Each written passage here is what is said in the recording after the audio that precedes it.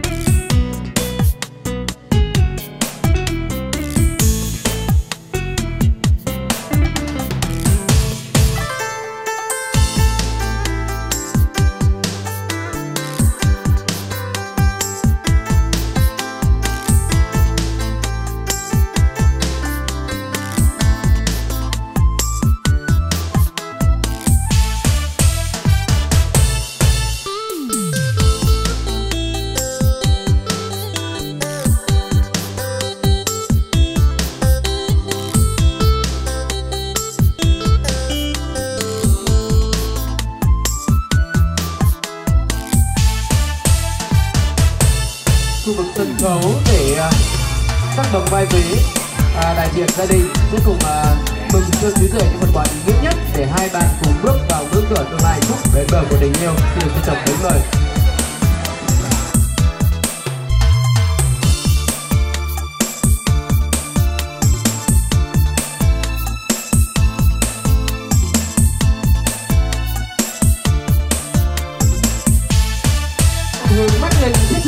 chúng ta cùng đến với những phần quà ý nghĩa nhất của đại gia đình xin được trân trọng kính mời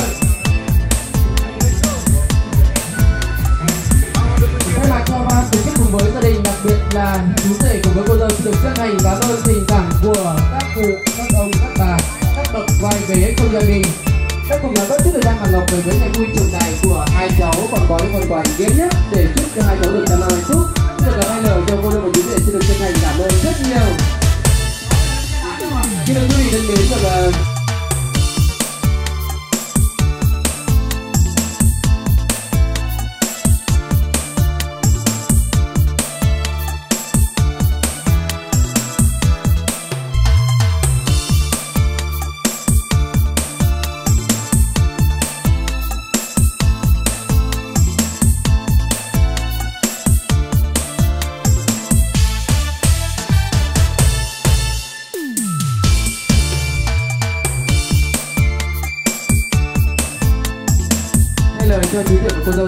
thành cảm ơn tình cảm của các cụ cầu các bà